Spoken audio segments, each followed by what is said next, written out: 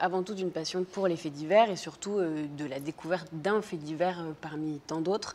Quand j'étais stage, en stage au Parisien au service des faits divers, justement, en 2014, et j'ai découvert l'histoire d'un Américain, un homme qui prétendait dans un livre qu'il venait de publier que son père biologique, qu'il a cherché pendant 12 ans, était le tueur du zodiaque. Et ça m'a tout de suite euh, interpellée parce que l'éditeur HarperCollins s'en disait très très peu parce qu'on voulait garder un petit peu le suspense. J'ai tout de suite contacté Gary euh, après évidemment avoir proposé le sujet au journal. Et de là est parti vraiment un échange euh, qui a duré des années parce qu'on est toujours en, lien.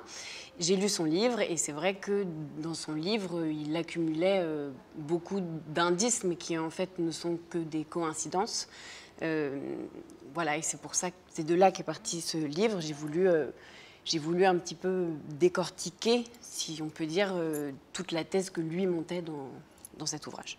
L'histoire de Gary et mon histoire personnelle, euh, elles ne se sont pas entremêlées tout de suite.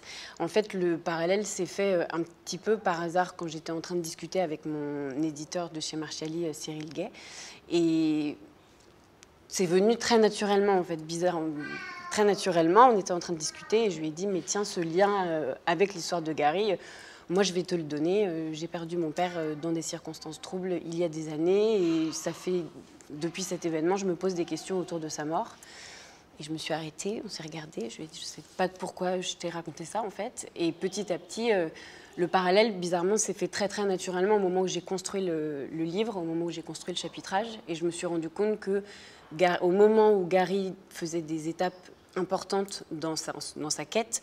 Euh, ces années-là, moi-même, dans mon histoire, je faisais aussi des découvertes euh, importantes, intéressantes, et, et ça s'est répondu. Et évidemment, euh, l'obsession que chacun nous avons eue pour notre quête, lui pour prouver que son père était le tueur du zodiaque, et moi pour peut-être pas prouver, mais si essayer de comprendre dans quelles circonstances mon père était vraiment décédé.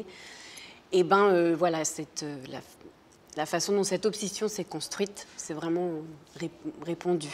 C'est mon premier récit, oui, enfin, c'est mon premier livre, c'est un récit, et j'ai eu euh, comme modèle euh, Alex Marzano Lesnevich, pardon, qui a écrit L'empreinte. Euh, et aussi, j'avais aussi en tête une partie rouge de Maggie Nelson.